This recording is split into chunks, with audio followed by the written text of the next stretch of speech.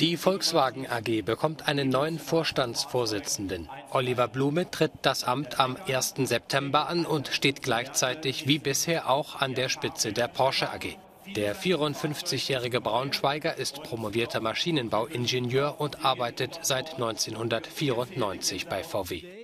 Er löst Herbert Dies als Vorstandsvorsitzender des Wolfsburger Unternehmens ab, der seit April 2018 im Amt war und laut VW so wörtlich im gegenseitigen Einvernehmen ausscheidet.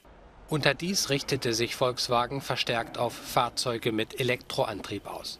Zum VW-Konzern gehören zehn Marken. Das Unternehmen betreibt Fabriken in 29 Ländern und hat eigener Angabe nach rund 663.000 Beschäftigte. Es ist im Fahrzeugbau der größte Betrieb Europas